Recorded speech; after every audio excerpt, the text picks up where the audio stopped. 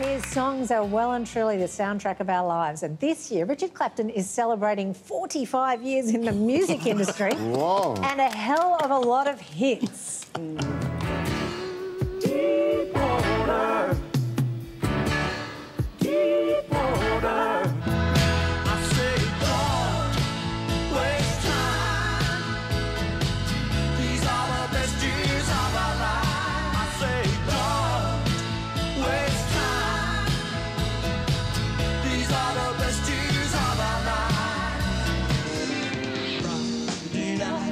See the girls on the avenue like a child that plays door window should feel confused. So many girls on the avenue.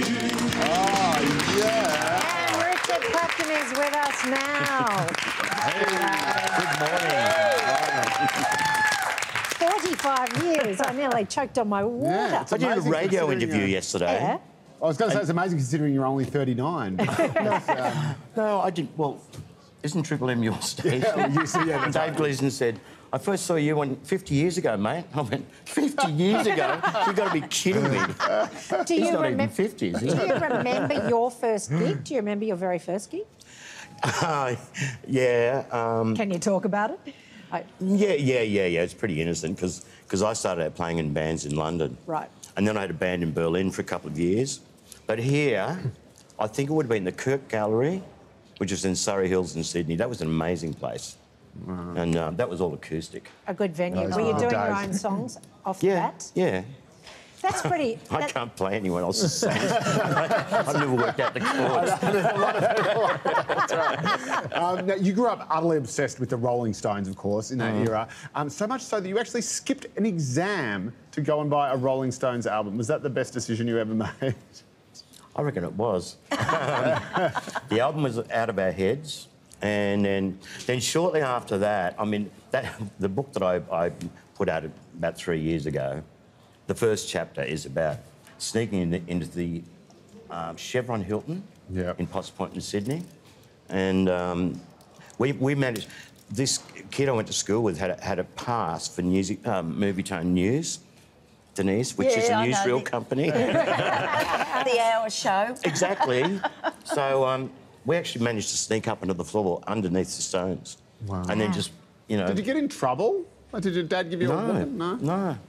Remember, they couldn't keep track of you back then, could No. they? No. Need facial No recognition. phones. I No, know, nothing. wasn't it great? Where does, that kid, where does that kid with the sunglasses keep going? Now, you've got so many hits. Is there one song that you would be happy not to sing again, or do you love them all? No, no, no. I mean, look, it's very tempting for any artist, especially when you've written your own songs, to get a bit tired of, of playing the, you know, the same old songs over and over. But um, oh, there, there's a story that's too long to tell about me going to a Bob Dylan concert some And- years ago and dragging my. Well, no, and I dragged my drummer along because he was not a fan. And about four songs in, I just got a. It was Sydney Entertainment Centre, and I went up and, and went to the bar, and Mick, my drummer, came out and said, "What's up with you?" And it was because he was doing a speed metal version of "It's All Over Now." Oh, Baby no. Blue. Yeah. And you didn't want to hear that? Well, that was my epiphany when I was Yeah. about 14. That was Just why like blowing in the wind. Yeah, exactly. Yeah, don't mess with your own songs. People want to hear them the way they want to Yeah, hear them. yeah. Yeah. Um, you're such a huge part of the Australian music industry, and so was Countdown. And you didn't always have a great time. Why was that? Molly? Um, We've got a little. Let's have a look. About Form. three weeks ago, we weren't smiling at all because we had a lot of hassles in the studio and a couple of groups were cancelled, including this guy here, a mate of mine, Richard Clapton. Now, Richard, um, we cancelled you because you're what, 40 minutes late? Uh, well, 20. Well, 20, 40, you know, like, but I- it was actually 40. Um, are you on the show because your manager asked you to come on the show or because you really do quite like the show? Well, I, yeah, I enjoy doing the show. Wow, that is so Well, there's a bit of shade. a bit of shade for the man in shades. What went on there? I just love the way throughout the whole interviews, Molly's tearing strips off me, and I keep Hmm. going, yeah, yeah. but it was an important show to be on, wasn't it it? was. Yeah. You know, what? I did. I did countdown 18 years, uh, 18 times. Sorry. 18 Much times, to my yeah. chagrin. Why were you late? Because- knows? No, I, look, I brought a guitar player back from LA because I'd been living in LA, the guitar player got horribly drunk the night before, and we couldn't get him out of bed. And he did make us late. But the trouble was, I walked into the ABC and I kept profusely apologising, and it was like, you know, throwing fuel on a fire. Every time I tried to apologise, Molly thought I was having a lend of him, which I wasn't. I was being sincere. But he getting more, he kept getting more and more fired up. But the thing is, Molly did get fired up in the countdown days. It was he, had, he was on a very short fuse. yes. Was that one of your earlier appearances on Countdown? No, that was well into it. I, I would have done Countdown probably f- from the beginning. Right. I never did Girls in the Avenue on Countdown. But Deep Water, I think Deep Water was my first appearance on Countdown. Yeah. Are you kind of surprised that these songs have still got such love and there's such a, a, a huge connection to big parts of the Australian music fandom? Well, quite honestly, it, it's it's a really kind of special feeling, especially a song like Deep Water to have endured for so long. Um, I, I always find it amusing though that you know people relate to that so well, and the Yeah. main main lines in it are sitting out in the Palm Beach Road. I'm so drunk and the car won't go.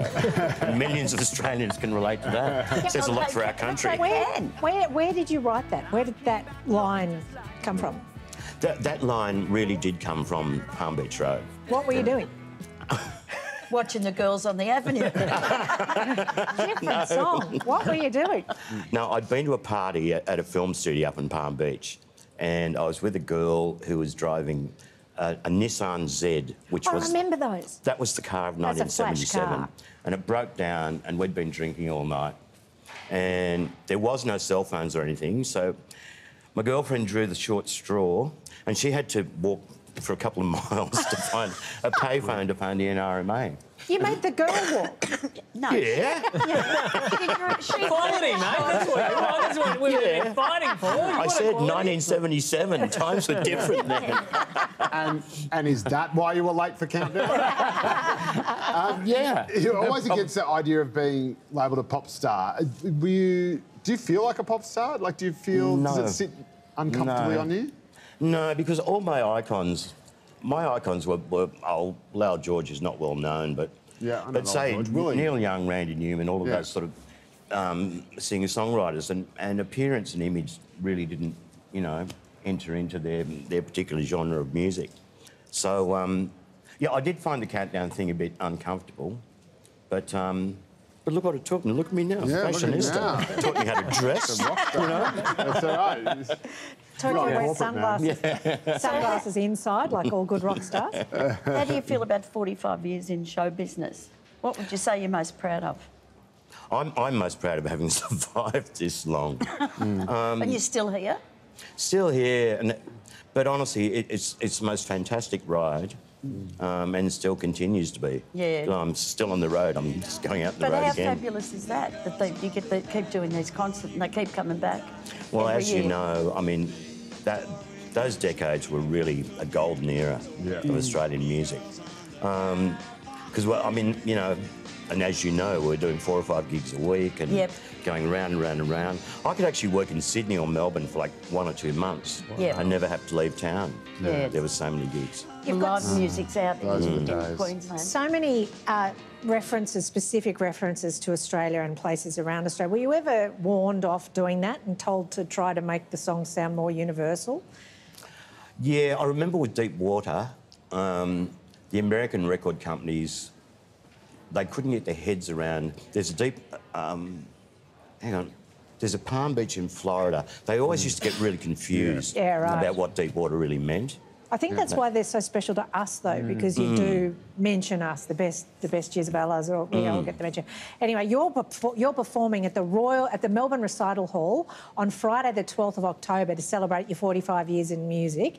Head to melbournerecital.com.au for tickets, and you're also celebrating 40 years of the album Goodbye Tiger later this year too. At the Enmore in Sydney, yeah. At the Enmore, that'll be a That'll be great, great. gig Yeah. too.